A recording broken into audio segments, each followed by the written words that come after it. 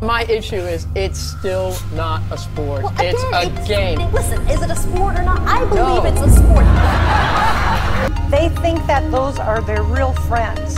And it, I'm like, they're not real friends.